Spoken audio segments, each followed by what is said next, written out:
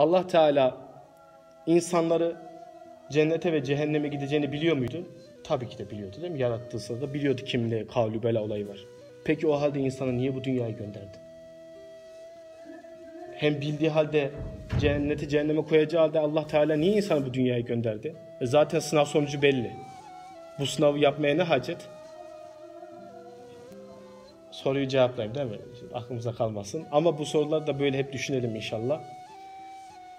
Şimdi şöyle bir örnekle örneklerle verirsek daha iyi anlaşılır. Bir öğretmen, Emrullah hocam gibi bir öğretmen bir okul talebesinin durumunu az çok bilir. Ahmet öğrenci, Mehmet öğrenci bilir. Yani durumu bu çocuk çalışkan mı, tembel mi bilir. Peki sınav yapmadan o çocuğa sıfır verse o çocuk ne der? Ya hocam olur mu böyle şey? Beni denemedin ki. Benim hakkımı vermedin ki. Beni bir denemedin. Ha. İşte Allah Teala da bizi sınav yapmadan cennete ve cehenneme koysaydı inanın böyle şeyler olacaktı. Beni denemedin ki ya Rabbi hele bir dene bak gör Yiğit Kul'da neler var diyecektik.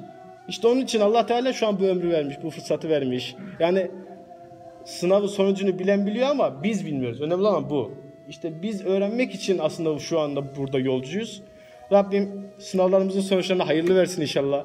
Ahirette cennetiyle, cemaliyle müşerref eylesin inşallah. Hayırların fethi, şerlerin defi için, işlerimizin, güçlerimizin rast gitmesi için, Allah rızası için El Fatiha.